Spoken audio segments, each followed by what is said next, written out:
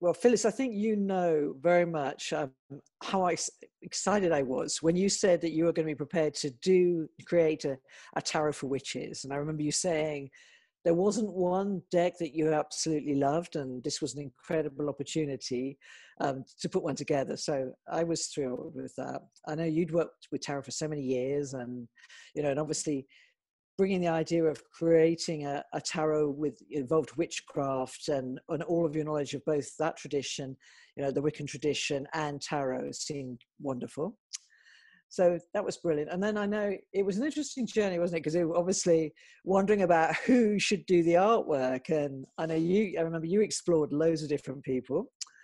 And um, and um, we were certainly looking at our side really hard and not quite finding anybody who seemed quite right, just not quite the right, you know, match for you or energetic configuration. And we were looking for sort of fresh art as well, a fresh, you know, approach to the topic. And um, it's, um, you know, extraordinary really, because I, I knew how many portfolios we'd looked at.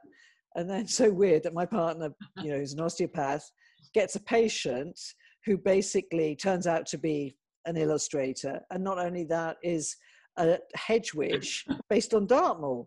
So the and you know that's I mean it was a weirdly because it happened in just in the time frame, and I you know I don't think we'd had a discussion about the fact I was looking for an illustrator, but but Danielle appeared, which was incredible, and then I and you know just it was sort of fun in terms of saying to you, well, there's that, and I thought going to be interesting. I mean, it seems like the universe is center along, but are you guys going to vibe? And um, you know, so it was uh, it was great. And you know, what ha- you know, what what was the process? Can you remember what happened when you know I introduced you guys for to to each other?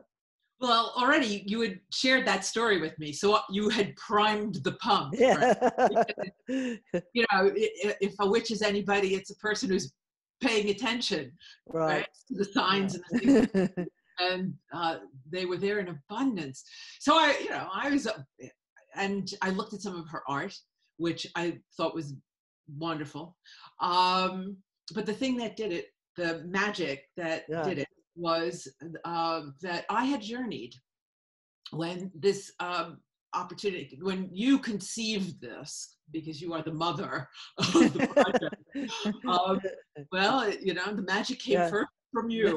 I was sitting behind you. And I was over the moon and um, thrilled. So I had journeyed, which is a, a, universal shamanic technique. I was one of the the first um, to integrate it into Wicca, into witchcraft 40 years ago. I was in the first core shamanic uh, group that came out of the academic work of Dr. Michael Harner. Now right. global, everywhere. But yeah obscure.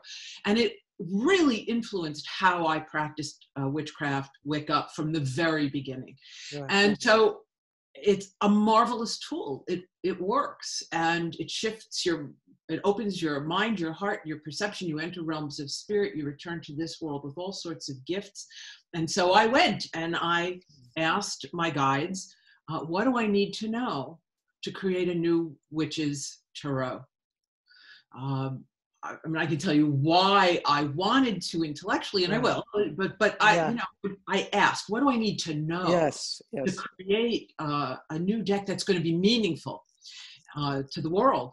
And the answer was really clear. I was told, forget the elements, uh, forget the symbols, forget right. the start right. with the right. elements, uh, and they will show you what you need to know, what the world needs to know and ask, and they'll show you. So uh, when I had my first conversation with Danielle uh, over Zoom, it turns out she's 20 years younger than I am. Eh? she journeys. She uses technique. It's everywhere now, just like witches. We're everywhere now. And she had journeyed before we spoke, and she had asked, you know, what did she need to know to help create a new witch's tarot? And she was told, start with the elements, not the symbols, and they'll they'll lead you forward. Right. So you know, uh, that was I was like, okay, done. This is clearly the person. when the divine speaks, if you're a good witch, yeah. you listen. So we, you know, she and she could listen, and um, and we got the same message. So that was it. Um, we were off and running, um, and uh, and it was terrific. I mean, it was just marvelous, and it was so valuable to me because typically, right, the author is given the project and will tell the artist what they want, draw right. this, draw that, blah, blah. Um, and the remarkable thing about journeying is that, especially when people do it initially, like any method of divination, like working with the tarot cards. Yes. You doubt the message that you're getting, right? Yeah. You doubt the the objective reality yes. that's been shared yeah. with you. You you doubt that you're actually hearing the voice of the divine. I've been doing it for 40 years, so I don't doubt as much as I used to when but nonetheless, to have somebody with whom one can journey yes. and have uh, shared experiences is profound and validating and deeply affirming. And um, even though the journeys weren't always the same, um, so yeah, but did you? Yeah, because when you where did you kick off? Because you said the elements. So did you start with one of the elements, or how did you? What was yes. the process? So oh, great process. So we decided that you know we looked at the time frame that we had. We wanted to complete the the journeys and the work as best we could within a year's time frame. So we sort of scoped out, you know, you know, we need to do X amount per week, per month. Right. Um, and uh, we were not going to try to journey at the same time. We had a six-hour difference. She's a mom. She yeah. has house kids, and yeah. so she would have to grab the time as she could. Uh, but we knew we had a general time frame, so we started uh, as instructed uh, with the elements. We started with air. We started right. in which is the direction in which a witch casts a circle, at least in the northern hemisphere. So we started in uh, the east with air. Then we went to fire, which is in the south. Then yeah. water, which is in the west. And then we ended with earth and came back to east and looked at everything. Um, we journeyed for every single card and sometimes more than once. Yes. Um, sometimes I journeyed and she didn't have time. Sometimes she journeyed, then I would journey into what she had seen, or she would journey into what I had seen. Uh, we would write our notes and share them, yeah. read them, and then uh, conversate regular uh, Zoom calls, which we said we were going to record and didn't and should have. Well, you should have, absolutely. well, you really should have. The yeah. conversations were extraordinary. It was amazing to see that we had had when we had similar journeys or yes. similar uh, symbols or messages or the same terrain. Um, often, if they were not exactly the same, you needed to put the two journeys together to fully understand what was happening. Right. Oh, that's that's extraordinary. I mean, obviously you because you're coming from sort of the Wiccan, you know, high priestess of the Wiccan tradition and you know obviously with danielle's background living here on dartmoor with the moors the earth but hedge witch very mm-hmm. You know different very different in sort of the the structural the archetypal energies that you're connected to but you found a meeting point obviously yeah. well i'm not a typical wiccan priestess so we are both we both have a similar um, method and a similar perspective we are shamanic in our yeah. approach. We yeah. um, use similar technologies, uh, spiritual technologies, to open ourselves to the sacred, um, to enter realms of spirit, and to see the world that we're living in as sacred. I'm a philosopher yeah. uh, and an Aquarius, and um, and a mystic, truly, and. Yeah. She's a, you know, she is a Virgo. Yeah. So it would seem as if we're very different, but we fit together perfectly. Just yeah. and it was a it, part of the blessing. There were so many blessings received from this process, but one of the great blessings was friendship that we became friends and. Um, yeah, so that was extraordinary. So we made the we did a it was and it was an epic adventure. Yeah, and it was yeah. good to have a companion on an epic we did about 200 journeys, I would say, all told, uh, with repeats and going back. Right, right. And um, and we did the majors. Yeah. She was very emphatic about this. Yeah. It had to be done in 22 days. Right. and uh, so we were in a permanently altered state. I don't know how she managed with children around the house, but, but we did the majors in 22 days, and that was extraordinary. And it right. was deeply personal. Yeah. There were journeys that were were very personal, um, but always a um, a universal teaching, uh, a teaching beyond um, the significance that it had for us as individuals. Um, and on occasion, a few occasions, it, it was quite profound and very deeply moving to share that. But always we were shown the greater wisdom that needed to be known and uh, to be shared. And we early on, it was like, okay, her job was to show, to make uh, what needed to be shown, and my job was uh, to share what needed to be known. Mm-hmm. And I was getting volumes of, of poetic interpretation uh, through the journeys, which was unusual for me, lots of language, but it made sense because um, I was the writer. It was um, amazing. Um, it was an I, amazing journey. Sorry, I didn't oh, want to cut you off there. I was just thinking, but you're because I know when you're just talking about the major arcana there, and obviously as you started to work through that, something really radical and profound happened. And in terms of because yeah, I guess there's me sitting thinking, oh yeah, they're going to kind of follow the sequence of the rider Waite, and you know that's going to be how how it is. But and suddenly I see some the images coming through, and just tell me what happened with that. How did how how did the rider Waite get turned on its head? Because it's a, a, a wonderful journey. All right, let remind me to come back to the minors because they prepare. Oh yeah. Okay, well, no, no, explain it. Go for that. To you know, to describe how they did, how they set that up, because that's yeah. Um, so we, you know, as of course, as we're doing this, Danielle had only had one tarot reading in her entire life right before we uh, began the project. That's so amazing, right?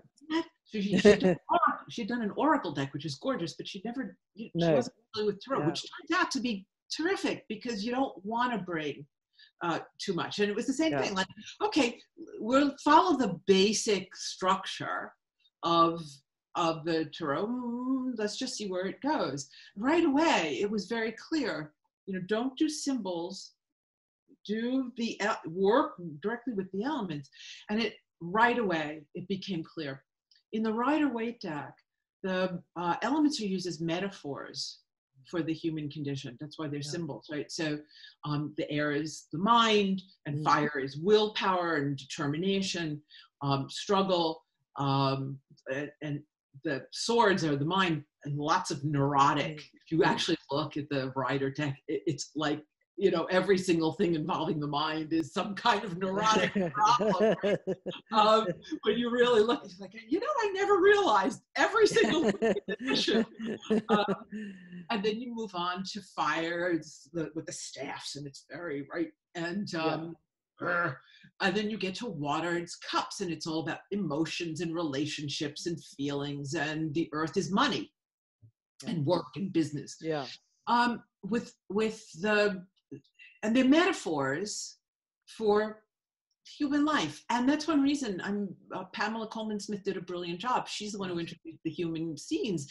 And it makes the deck incredibly useful for understanding the human condition for understanding our lives and also for sort of foreseeing what's going to happen down the road. You know yeah. if you put yourself in this direction that's where you're going to end up right, right. if you're thinking this way then you're going to act that way that way and yeah, the result will be the following. Right really helpful and it's helpful to people because people want to know about their lives so it's been a brilliant deck. It's the most popular deck in the world and it's become it, it is and a starter deck, you know, for most people. But go, yeah, go ahead. Sorry. Starter deck, and it's also the foundation for virtually every deck that's ever been created, including Absolutely. including most witches decks. You know, right. they may on a pointy hat or yeah. give you the horn god instead of the emperor, but it's essentially the same deck. Most definitely. Well, right away, the elements were like, no, we're not metaphors for your reality. you know, right. we have our own reality, and in fact you are us you know? We're not metaphors for you. We have lessons for yourselves about who we are because who we are is a part of who you are. So we were paying very careful attention, and the animals were amazing teachers, and the and the plants were incredible teachers and there were spirits of place and the spirits of all those. We had immediately you can see i'm wearing fox. We had guides who appeared. So we had fox who took us traveling all through the deck and grandmother toad who was this incredibly wise and ancient loving maternal presence and but also you know a little tough love. And the briar rose which taught us about challenges and beauty in you know different kind Absolutely. of and the mycelium which are you know, the the network of mushrooms yeah. uh, that connect all things that were teaching us about the interconnectedness of all of creation and consciousness. So we were getting lesson after lesson after lesson from our our kin, our family, mm-hmm. the members of our family that we have forgotten, who had all these lessons about where we are and who we are and they were deeply sacred lessons. And over and over again they would we would see challenges but we were always shown how to solve them right, how to heal how to uh, how to achieve nourishment. And over and over again um, there were there were blessings. It was a blessing path. And it was clear by the end of the elements that what we were being shown was that we have access to the divine in realms of spirit um, and that spirit is speaking to us through whatever method of divination we're using, especially a tarot deck, yeah. you know, divi, divine. Mm-hmm. It's an oracle, it's the divine that's talking to you. And there were these guides and spirits talking to us, talking to the world through the images and through the text. Uh, and what they were saying ultimately was that you live in a sacred world, and that world is organized in, in infinite interconnections that are there to sustain you and nourish you and encourage you and heal you and help you, which led us to the major arcana. So we had this sense of the holiness and the magic and the love, the energy of love that pervaded creation that was there for us if we just would take off the blindfold and see it. And I, it, I was from reminded. You know, there's in, in both old myths, Greek myths, and also in the Bible, right? There's this idea that you can't see God because if you right. see God, you'll go blind. Yeah. It's too much, right? Yeah. So there have to be these layers between yeah. you and the divine. And in this this journey and in this deck, the messages of the deck are not not at all that that revelation will heal our blindness that we haven't been seeing the world as it actually is as as an embodiment of what's divine. We've been seeing it as not divine until we're wrecking it. But if you work with the deck and the spirits in the deck the teachers in the deck they will show you over and over and over again how divine the world that you're living in is and how much it is meant to love and support and sustain and nourish and give you a life of creativity and abundance and well-being. And so revelation actually heals our blindness. And it's a healing deck. We, it really truly is a healing deck. It's a witch's deck because yeah. witches have always been healers. So we were ready. It was like okay the hmm. the the, the we were we were ready. We had been shown this great teaching in all these different amazing ways magical things over and over again magic magic magic of how to work with the natural world which which is i've always done for transformation and fulfillment and all these things. Okay we're ready. Well we weren't imposing you know danielle couldn't because it wasn't her thing so she wasn't bringing a lot of baggage. No. I could because i but we're you know okay what do we need to know to uh, uh, to travel into the major arcana? And the first journey was a shock. I know because we sent it to you and you were shocked. I, I was i was shocked. I think you know my capricornian kind of you know love of tradition in the best possible sense yeah. was what oh my god, really? You know, because it was it you know it was so it was iconoclastic, you know. But I was thinking, you know, where are you? Because you just I hadn't been with you in that part of the journey, and suddenly I you were in such a a different space and a different vision, and it was fascinating. But I know. And it'd be lovely if you talk a little bit about. I think it was the world card that particularly I saw that. I think you, you said about three or four of the major arcana, and the world card. I it was a shock, and I'd love you to explain uh, a little bit about the seeing around the world card. But then realizing when I read your description of the cards and I understood and matched those two things, oh goodness, you know, it was such a um, profound journey that you guys were on, and such an important um, transmutation of the energies of of the Waite major arcana. So uh, extraordinary. no, please, yeah, I was. Uh, we'd have to. Sorry, I shocked you. yeah, no, not at all. And shock's good. Shock's good. It kind of takes it takes you out of that kind of uh, okay, I know what they're going to do, kind of complacent. That was right. super. It was actually super exciting, but uh, it just was. Okay. Uh, there was a moment of hesitation there. Great. so I I didn't know the whole point of this right was to be open uh, to being yeah. shown, um, not to superimpose what you already knew.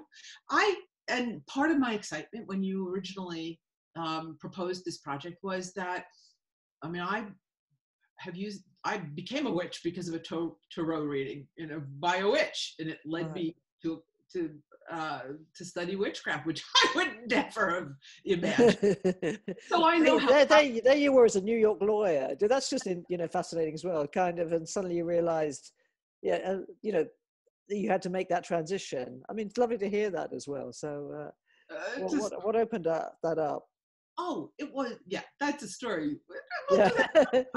so it, I mean, it was the last place in the world, but it was a tarot. Yeah. I know. Right, right, right. Oh, no, cool, cool. Yeah, yeah, yeah. It can change life. I mean, it can change your life Absolutely. every day with a one card pull that helps you to realize, first of all, that the divine is talking to you and is with you and is present with you. To me, that is one of the most gorgeous gifts that that um, a tarot or any divination, but certainly a tarot deck will give you. That there's this moment of communion, not just communication, but communion that, the, that you've asked and the divine has answered you. And the answer you get is always, always in your best interests. Yeah. And to have that companionship all day as you're entering a day, it can be an amazing experience um, on a daily basis. Mm. So, um, so, so, you know, eh, so I love the Tarot. I, I love it. And it's been a helpful tool personally, and it's been a tool that I've used to help other people. Um, so I, I, value it tremendously as a method of divination, as a way of speaking to the divine and getting great guidance. But the things about it that um, I've never liked, I've I've never, and and you find them um, in all the thousands of decks from the cats to the comic books, you know, that yeah. are based on the Rider deck. It's the it's it's the gold standard. Yeah. My alchemical pun. Um, but it's whatever, you know. And even though a lot of witches decks, although they've sort of made some changes and they generally throw out the devil, but the, it's still basically the Rider deck. So I, the crucifixes, the the angels, the churches, the the fig, the judgment card with the figures rising out of the grave, the yeah.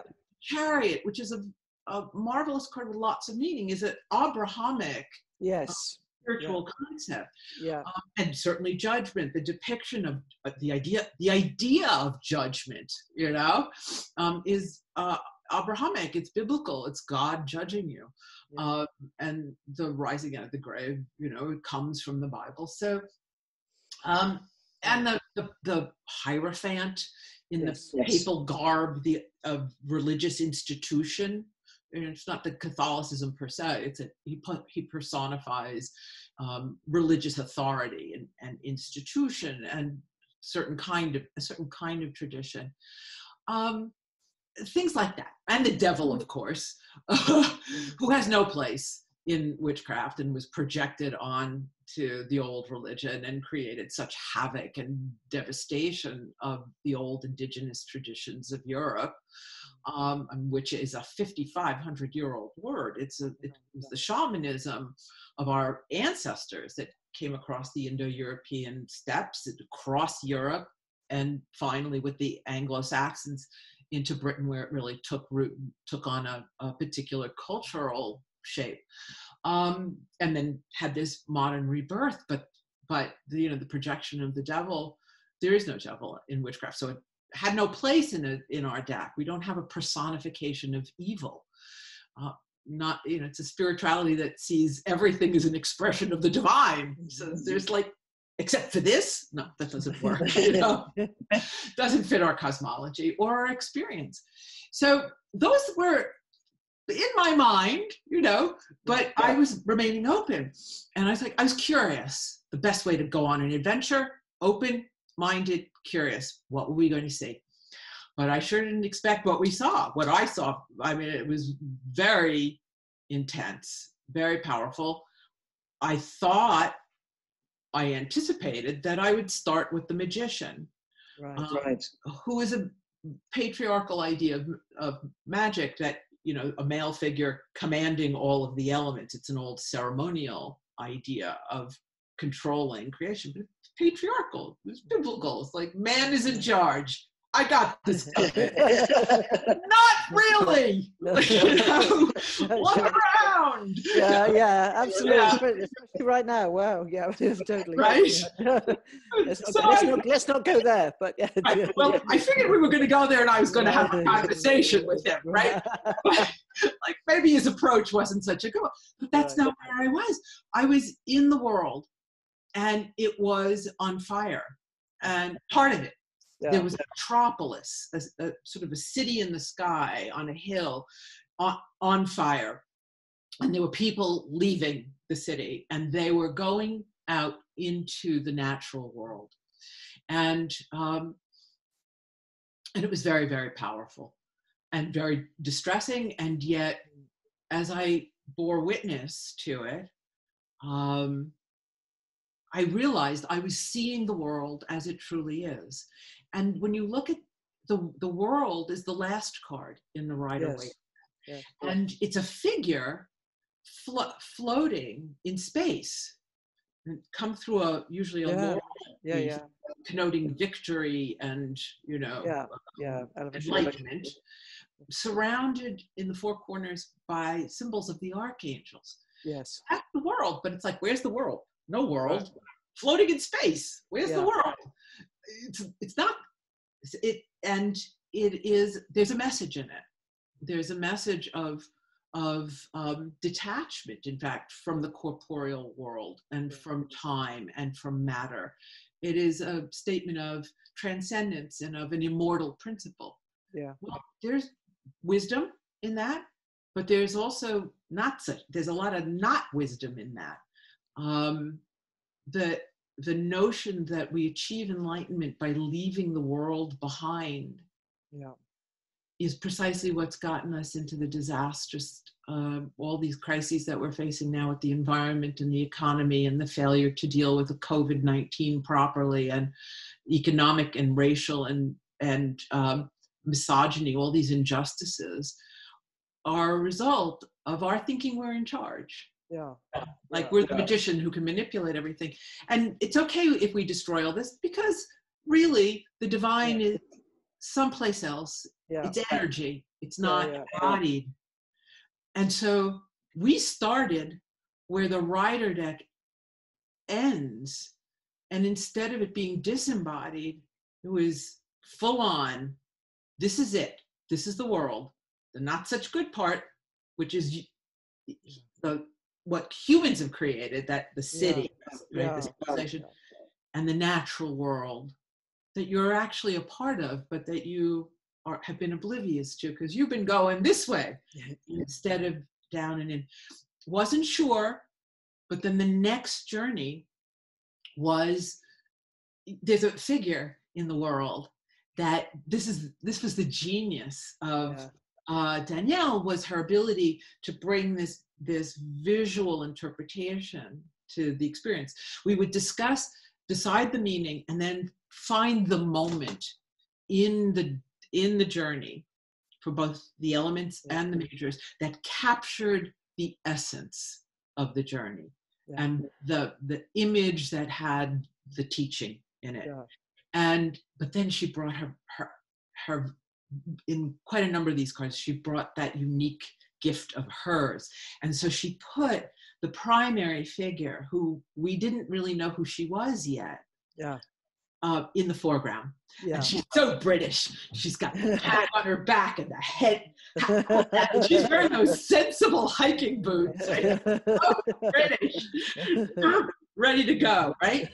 Trudging away. She's yeah. equipped, you know, right clothes, good shoes, into the into the uh, countryside, the beautiful yeah. natural environment yeah. which is you sense, but you don't fully see it, right? It's like no, no, there. No, it, it, it awaits, and and then in the next journey, there she was. Um, she's taking the pack off. She's washing her face and drinking water, and there are little foxes who are tearing at her pack and badgers carrying off yeah, her and the crows pulling her hat off. and it was very apparent to me. Uh, I understood because I, you know, I know the tarot. I was like, ah, that's that's the card that takes the place of what once was judgment. Yeah. There's no judgment here.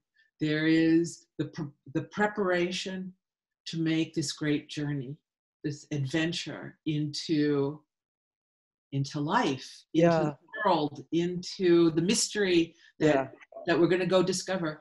And she's a little plump. She looks plumper. And it was amazing. So we went um, not backwards, but we backwards. We went in the opposite direction. Yes, yes, you reversed the order, which yeah. As far as I know, the first time in the history of the major yeah. arcana, we go from the world yeah. into the world. Yeah and it was a and yeah and we'll talk more about it. It was extraordinary extraordinary. Yeah, yeah. Um, you know i guess you may encounter some people perhaps who react initially like i did sort of traditionalists. Um, are you, are you worried about people getting rattled about that or getting you know um, people asking you you know why and uh, and um, feeling sort of some kind of frustration with that with you? Or?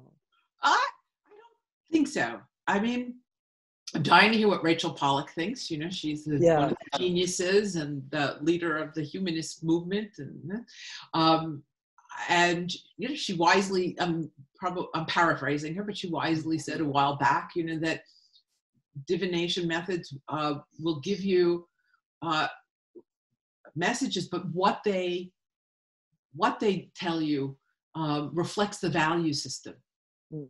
You know, so the divine is speaking to you, but it's a human tool that's been. Yes. Created. We create the the phone or the microphone or the you know the laptop through which the divine speaks, and so yeah. we're coloring the message yeah. through the values that we bring. And the Rider deck um, was radical for its day, but it but um, and certainly played in uh, the Golden Dawn, from which that that came, Absolutely. played an important role in the revival of of contemporary Wicca and witchcraft, um, and began the process of bringing us um, back into a sacred world and showing us how we had access to it. That it wasn't just religious professionals, but that we all had a capacity to be connected to the divine. Um, but it was still kind of patriarchal and it was Victorian and it was kind of Abrahamic. And the message in those decks is that enlightenment comes by leaving the world behind.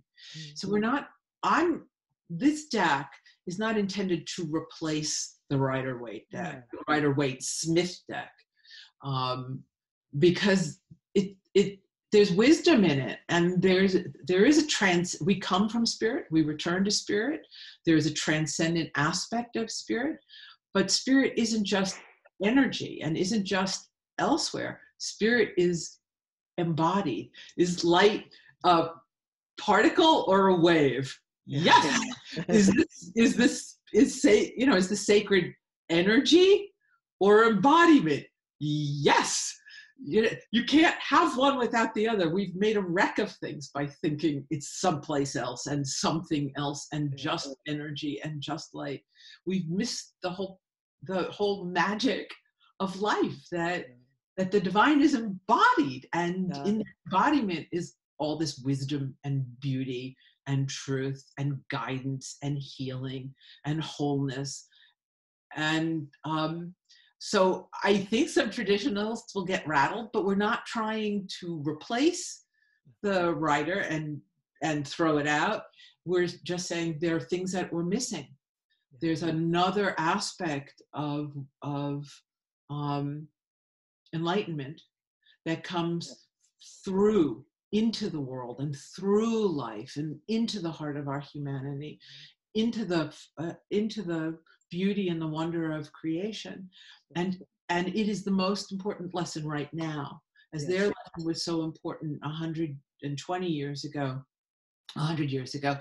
This lesson is the lesson that is vitally important which is wisdom. The earth's wisdom. The earth as the embodiment of the divine. The wisdom of the land is um, and the creatures that live with us who are our relatives um, that wisdom is the wisdom that we most need right now um, and you can't fully understand yeah.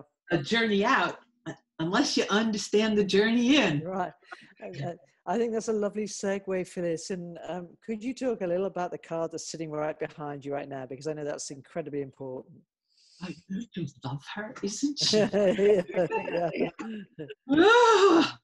I, mean, I love them all. I love them all. I love it. I, you know, but of course, I have my favorites. Um, and that is one of them. And we should talk a little bit more about some of those fabulous cards. Um, the pilgrim. So the pilgrim appeared in that in the world in the, in the very first moment and made the journey and through the major arcana um, and we discovered that just as the elements are sort of telling us that the world we live in is sacred and it's it's in with it's part of us and we are part of it um, and there are different ways of living and being and being fulfilled and making magic um, that we need to learn. And we need to know where we are in order to know who we are. The major arcana and the pilgrim made the journey of discovering what our role is, yeah, what the purpose of life is for each of us and for all of us. And um, so she makes the journey. Uh, and actually, it was fascinating because um, we were able to identify her. She kept her, he, them, kept appearing with um, a, a, a pentacle. It was a apple slice. Turned out it was a slice yes. of apple. And uh, there were five spaces for five seeds in it. And as uh, we encountered the figures uh, who, the, the teachers uh, in the, and the figures having the adventures in each of the major arcana, it was the pilgrim who either is not seen and is interacting with the figure or is the figure in yes. the major arcana and she kept shape shifting wow so um so she was uh, uh, seemed a more mature and heavy set uh you know plump figure yeah. in the the initiation the second yes. moment yes. and then she appeared uh we did the luminaries so we were like oh okay so next came the sun and there she was as a young black like a teenager, like yeah. right on the cusp of manhood. Yeah, yeah, yeah. Not a boy, but not a man, right on the cusp with the pentacle. Where yeah. oh, that's how we begin. We didn't realize yeah. we began to recognize that this uh, appeared again um, as the star. Remarkable. Uh, this was this was uh, um, specifically that's always been a very personal card for me. But it, it, was an early journey that Danielle did, and it was incredibly powerful for her. So we went with her yeah. her part of the journey. Um, I described mine in the wisdom text, uh, uh, the continuation of yes. it. With the figures immersed in the water. Yeah. Traditionally, she's standing sort of detached and pouring water. Yes. yes. Land into the water, and here she is full on. She is immersed up to here.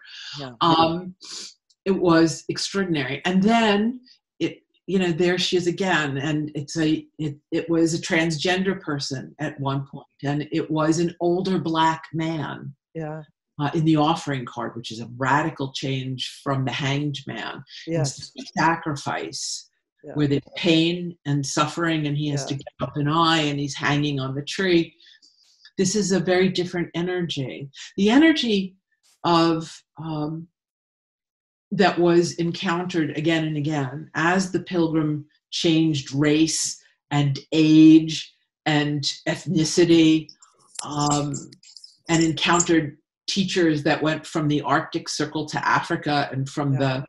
the Indo-European steppes to um, the the uh, southwest of the Americas.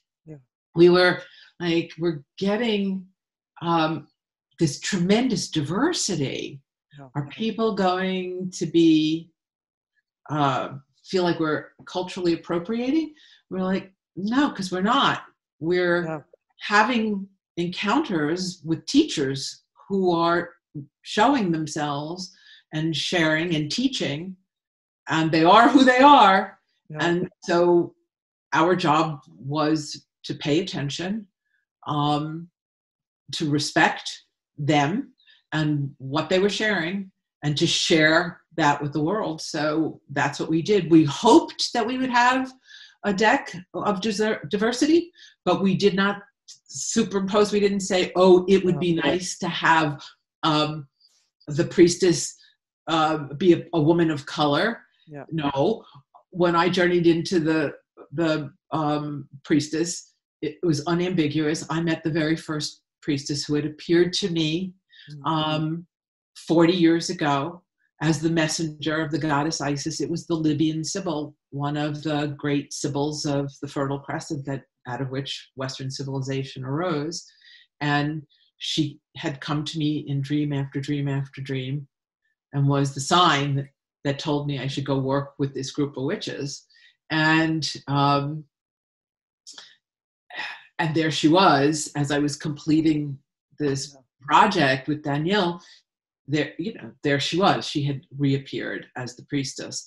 The particular interpretation that the visual interpretation um, is more uh, in keeping with what danielle saw how danielle yeah. saw her in what she was doing. Yes. Um, but um, but that's you know so yeah. that she was. So that's who she is. Um, and then at the end we came to the council of all beings. Yeah, yeah. that takes the place of the um, takes the place of the magician. Yeah. and it's very different and it, throughout the major arcana instead of the tower for example which is god's lightning yeah. shattering the tower and sending yeah. people to the rocks below you know and you know when god intervenes right pay attention. Instead, we have the maze. And yeah. the same idea that you're not in control, you know, yes. that you have to let yes. go. But the energy is very gentle instead of the devil, which is very much about sort of selfishness and attachment um, and the limitations, right, that yeah. imposed.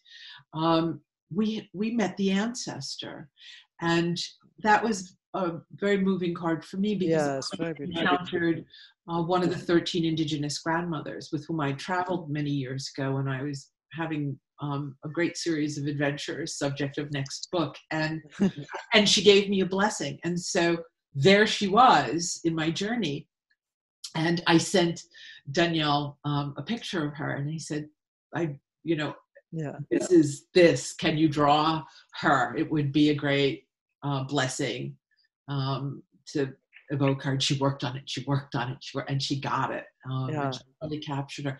Very different energy. It is about uh, wounds inherited wounds, but it's about how one gives thanks to one's ancestors and releases, forgives and releases the past and takes responsibility for yourself to create your future. Mm. The the chariot is gone. Will, you know, that control that we have. Nope, it's all gone. And instead it's the journey. And Danielle worked on that one again and again. And I was like, it's great. It's perfect. She had the, she had the transgender person, the pilgrim as yeah. a trans was, was really fluxing in that one with a horse Right. right. And their companions. So instead of, you know, controlling them through a chariot with willpower, dark and light, and I go forward, great card, lots of wisdom. Nope. This is, we're in this together. I have a lot to learn from you, you know? Um, and they were next to each other looking out on this vast landscape the, the journey of life that we go in not knowing necessarily where we're going and that you know it is a vast journey that we have to give ourselves to with trust and the land will support us as we make that journey which is the pilgrim. Mm-hmm. and and she kept drawing it. And the, and the pilgrim got further and further and further away. Yeah. i was like can't see them. I love them. She's like nope that's what it's got to be. And finally when they were like like the size of raisins in in you know in this vast yeah. landscape then she's like okay that that is the perspective um, so there was a different energy throughout the deck and it really culminates with the pilgrim where she's made this journey she comes into the council of all beings who are ancestors and spirits and P- indigenous peoples from all cultures and animals and the plant people, and she's invited into their company, sort of having made this journey into life to see the sacred in the world and in herself, to start to see it in herself. And she's met all these teachers from around the world who are so different, but all have these universal wise teachings for the, the magic and the blessing of life and how to live a good life. And she's welcomed into their company. And they're quiet and they're gentle and they're laughing and they are aware, you know, they're coming from all parts of the world because the world is in crisis and we all need to work together now to make our magics to change things. And um, and Danielle had finished that card and her vision had been kind of um, as if there was a veil over it. Mm. And so the figures were kind of ghost-like and we we and I was like, that's not it, that's not it. But we, you know, she was tired. We were at the end. I didn't want to stress her, but I couldn't, you know. And I had a dream one night. and It was like they were talking. They're like, it has to this the last. It has to be done properly. Yeah. I called her. I was like, listen, I'm sorry, but you've got to do it over again. Got to be vivid. They've got to yeah, all yeah. be there, you know. And she did it. She did a stunning card. Absolutely stunning and, card. And then we got her and when yeah. I, it was one of my favorite cards to write because it's so different. The Fool in the Rider deck is oblivious, yes. not where, yeah. where she's going, about to fall off the cliff. Yeah, yeah. The dog hopefully will save her, but she's in her own world. She's naive and oblivious. Our pilgrim is not a fool. She is firmly footed, but right dancing. Mm-hmm. She's joyful, she doesn't know what's on the other side of the hill, right? Yeah. But all the paths of life are open to her, and she can take them with this kind of open hearted joy, clear sighted, with a companion, you know, because we are we are always uh, guided. There is always divine partnership with us. It's one of the things that, that a tarot deck teaches you, that divination teaches you, that there's always um, a, a, wise guide there for you. And she knows it. And she knows that she's supported by Mother Earth beneath her feet, by all of creation that is designed, you know, to create life and sustain life. That if she trusts that everything she needs to have this extraordinary life, this extraordinary adventure, is being offered to her. And so she travels with joy not knowing exactly what's ahead, but not needing to know because she knows everything that she does need um, is right there for her and will always be there for her. And um, it's a joyful conclusion to a very adventurous, happy, different story. I think, oh, wonderful. I think that's a wonderful space to stop, is the end of that journey, Phyllis. That's um, brilliant. Thank you so much. It's just been, it's lovely hearing that because I, being involved in the journey and listening as we've gone um, to what you've been created and the words that you've put together with the imagery. I can't recall a tarot that is more exquisitely written or more profoundly described. So um, just thank you. Thank you both for what you've created.